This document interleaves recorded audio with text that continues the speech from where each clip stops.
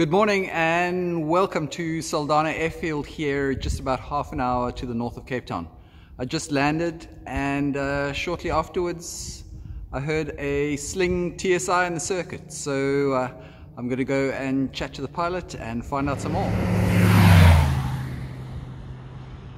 Hi everyone, Will Mason here. This is I own a part share in this Sling TSI. It's been a lifelong dream of mine to own an aeroplane or own a part of an aeroplane. Um, I grew up flying models, um, then got my PPL a thousand years ago at university, and then marriage and work and children happened. Um, so this, I think this is the first TSI in the country. Um, an incredible aeroplane, a Rotax 915 iS, 141 horsepower. We've just flown up to Saldanha um, during about uh, 19 liters an hour and cruising at 150 knots.